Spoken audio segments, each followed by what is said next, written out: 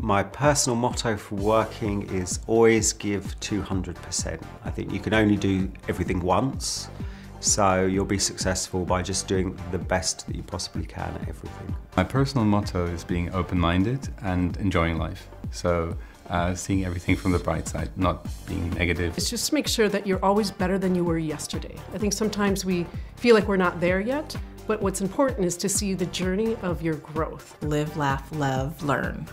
And I try to do each one of those every single day.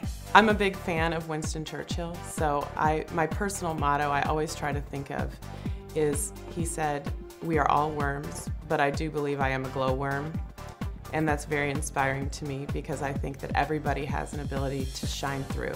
My personal motto is if you don't try it, you'll never know what'll happen.